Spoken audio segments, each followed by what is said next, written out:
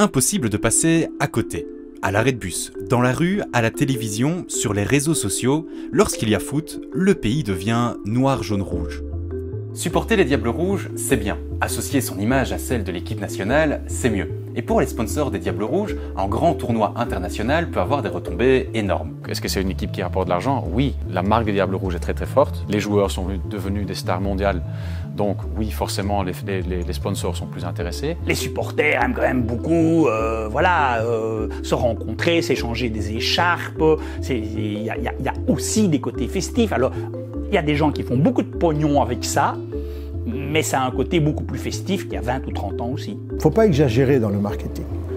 Parce que les gens, à un moment donné, à force de voir du rouge et du rouge, ils vont être, euh, savent plus en voir. Tu vois, il faut mettre ça à petite dose homéopathique, comme je dis. À petite dose peut-être, sauf que depuis des semaines, c'est l'artillerie lourde qui est sortie. Alors, quel intérêt pour une marque de s'associer avec les joueurs belges? Comment la marque Diable Rouge a-t-elle réussi à devenir une marque forte et stable? Et puis, est-ce que tout cela peut durer dans le temps une fois que cette génération dorée sera passée? 1937, Rotterdam. Dans le stade de Feyenoord se joue le match retour entre les Pays-Bas et la Belgique. Résultat de la rencontre 1-0. Mais ce qui nous intéresse ici, ce ne sont pas les performances des Diables Rouges, mais ceci.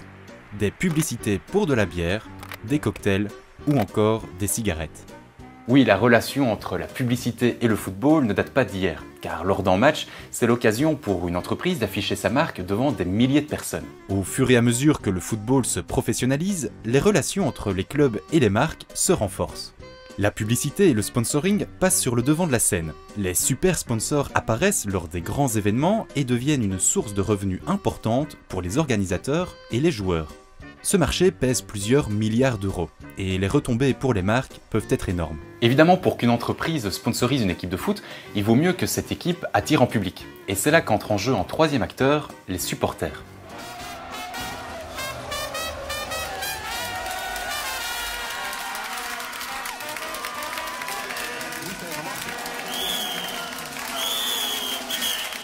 Les Diables Rouges n'ont pas toujours provoqué cet engouement.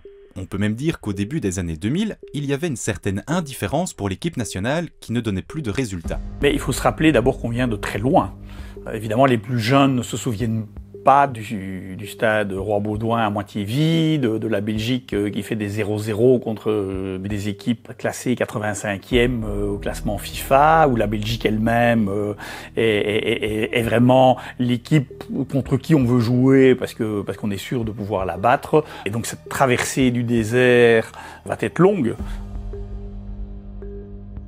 Mais dans les années 2010, une nouvelle génération de joueurs prometteurs s'installe. Et en coulisses, on sent le vent tourner. Une vaste campagne de communication va s'organiser, ce sont les défis des diables. Avant chaque match de qualification pour la Coupe du Monde 2014, des défis sont lancés aux Belges. Repeindre le pays en rouge, enregistrer des cris de supporters, faire un concours de dessin, le pacte stipule que si le défi est relevé, alors les diables s'engagent eux aussi à relever un défi. Avec les capsules qui avaient été très bien pensées, mais surtout au niveau humain.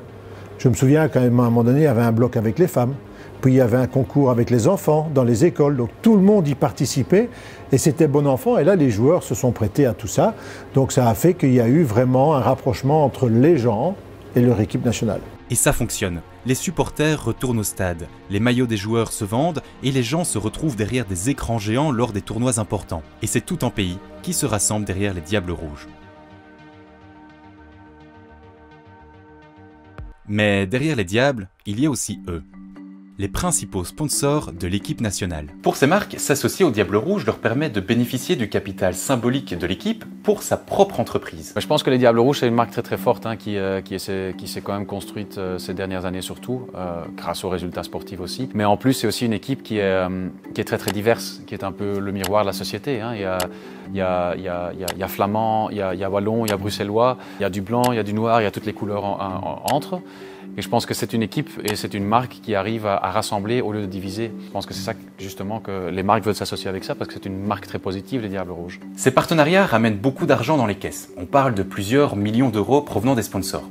En échange de cet argent, les entreprises peuvent utiliser la marque Diable Rouge et les symboles officiels dans leur campagne de communication. Si vous voulez, il y a vraiment un mouvement d'identification aller-retour où la marque s'approprie ou en tout cas s'associe à celle des, des Diables Rouges et finalement retrouve au niveau du grand public un capital sympathie puisque la marque est associée à l'équipe qui gagne, ou en tout cas que l'on espère voir gagner. Et le meilleur moyen pour effectuer ce transfert symbolique, c'est d'utiliser les joueurs, car ils sont devenus de véritables influenceurs, et leur simple apparition dans une publicité est une grosse plus-value.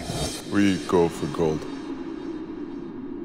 Celui qui a le plus de visibilité, c'est ceux qui sont vraiment dans la catégorie supérieure et c'est eux qui peuvent vraiment utiliser les joueurs qui sont quand même des stars mondiales dans leur campagne. Il y a certaines contraintes qu'il faut respecter. Chez nous, il faut toujours avoir 6 à 7 joueurs dans toute une campagne. Ça ne veut pas dire qu'on ne peut pas avoir un poster avec un joueur, mais ça veut dire qu'on doit avoir au moins six posters, à chaque fois avec un joueur différent. C'est comme les canettes Jupiler ou Coca-Cola dans le passé, ils ont eu aussi. Et donc ça c'est important parce qu'on veut quand même qu'ils sont, sont sponsors des Diables Rouges et pas sponsors d'un joueur euh, bien particulier. Celui qui est le plus populaire ou qui l'a gagné par ses résultats, par ses buts, par sa notoriété, c'est normal qu'il est plus populaire, populaire pardon, avec ses followers. S'il a 3 millions, mais je crois que les publicitaires, ils préfèrent aller sur un site à 3 millions que d'aller sur un qui en a 200. Hein. Ça me paraît logique. Oui, c'est devenu vraiment maintenant, au niveau commercial, pour les joueurs aussi intéressant. Ça devient euh, difficile à gérer pour les entraîneurs aussi. Tous ces réseaux sociaux, tout ce que tu dois contrôler, qui finalement, dans mon métier, a très peu d'importance ou ne m'intéresse pas. Voilà.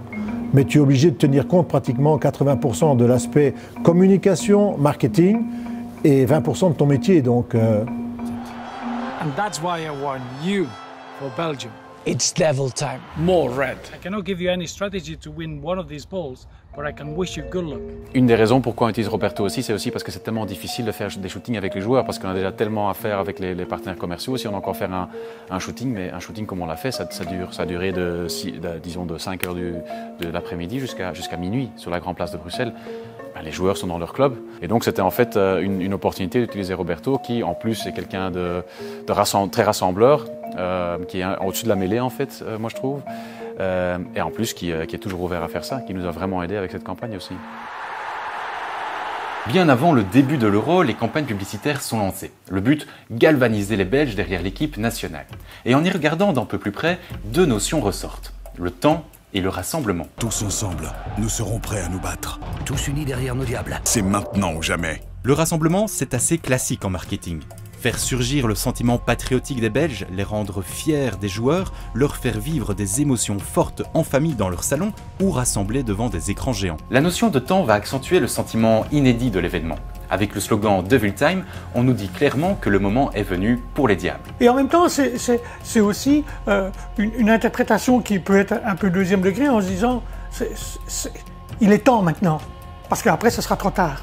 Euh, donc il y, y, y, a ce double aspect en disant on peut le faire parce qu'on a les moyens de le faire, et en même temps, c'est la dernière fois qu'on est capable de le faire. Donc c'est vraiment le moment. Et on se dit, les gars, on y va, on veut ce trophée. Maintenant, on a eu des très beaux moments, mais on est passé juste à côté. Et donc maintenant, il faut qu'on y aille. Mais se dire que c'est maintenant ou jamais, non, ça je dirais pas. Mais c'est vrai que c'est maintenant qu'il faut le faire, en tout cas. La simple participation des Diables à ce tournoi leur garantit un gain de 9,5 millions d'euros. Et plus ils avancent dans la compétition, plus la prime augmente jusqu'à atteindre un peu moins d'un demi-million d'euros par joueur en cas de victoire. C'est une rentrée d'argent importante pour la fédération car cela lui permet de faire de nouveaux investissements. C'est aussi tout à fait vrai qu'on c'est un peu une, pyramide. Et dans la pyramide au-dessus, on a nos Red, Red Devils, les Red Diables Rouges, on a aussi les Red Flames. Et en bas, on a tous les joueurs amateurs. Et c'est vrai que c'est la pointe de la pyramide qui rapporte de l'argent pour pouvoir investir dans le reste de la pyramide. Maintenant, le tout est de savoir si le haut de cette pyramide sera toujours rentable, car cette génération dorée n'est pas éternelle. Alors, est-ce qu'une nouvelle génération de joueurs arrivera à avoir d'aussi belles performances? Est-ce que la ferveur actuelle autour des Diables se maintiendra dans le temps? Et puis, est-ce que les sponsors maintiendront leur loyauté envers la marque Diable Rouge? Évidemment, il est impossible de prédire l'avenir. Mais une chose est sûre, la puissance d'influence des joueurs de foot n'a jamais été aussi grande. Et il n'est pas étonnant aujourd'hui de voir des joueurs prendre position pour certaines causes. Les Diables qui s'agenouillent avant le début de leur match, Ronaldo qui cache une bouteille de coca, ou encore Pogba qui glisse sous la table une bouteille d'Heineken. Ces quelques exemples mettent en évidence la position de force dans laquelle se trouvent les joueurs pour faire passer des messages. Reste à savoir si ces messages sont en adéquation avec ceux de leurs sponsors.